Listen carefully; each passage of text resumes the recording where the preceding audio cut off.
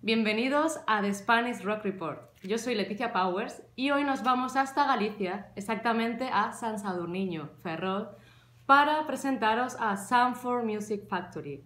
Este es su segundo álbum, Natural Behavior, y está compuesto por 10 temas, 10 temas que fluyen entre eh, la música de los 90, rock bastante eléctrico y bueno, es una pasada.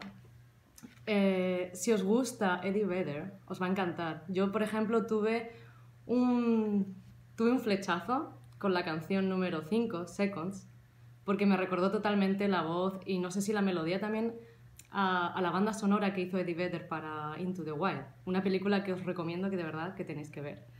Bueno, pues eh, grupos que os pueden recordar a, al sonido que, ellos ejercen. Sería un poquito como Queens of the Stone Age, uh, The Cult, también incluso Who, The Who. Tienen algo así setentero, pero vamos, la verdad que son bastante cañeros y son música de una calidad muy alta.